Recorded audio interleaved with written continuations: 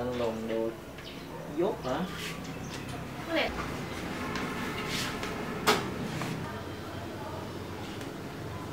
Hai cây nấm linh chi đỏ này mình mua lại của một người bạn chuyên về mua bán dược liệu. À, đường nước của bác.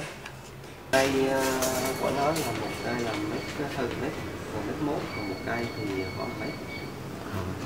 Mình là người rất nghiên cứu tìm hiểu về nấm thì những loại nấm linh chi đặc biệt là linh chi đỏ là loại linh chi rất quý hiếm. Và những cây nấm mà nó đạt được kích cỡ to như vậy nó rất là quý và rất là hiếm.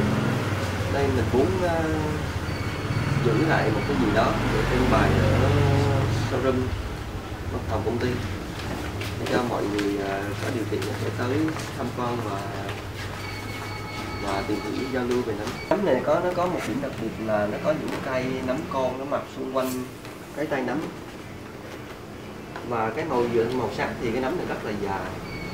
Cái nấm này mình hứa tặng à, cho một người bạn ở cũng buôn bán về dược liệu về xăm nấm ở Hà Nội để người bạn đó trưng bày ở showroom.